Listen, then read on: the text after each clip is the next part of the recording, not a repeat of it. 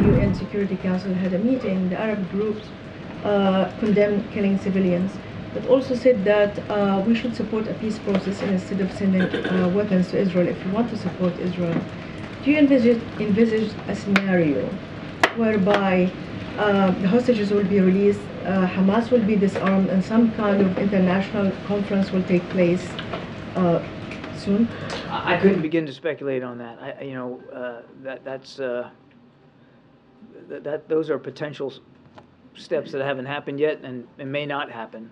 All I can tell you is, we're gonna continue to make sure Israel has the tools and the capabilities that they need to defend themselves. We're gonna continue to try to get that humanitarian assistance in, we're gonna continue to try to get hostages and, and people out of Gaza uh, appropriately.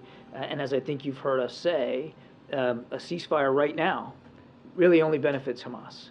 Uh, that's where we are right now, and I, I understand the question, but I'm just not going to get ahead of where things are.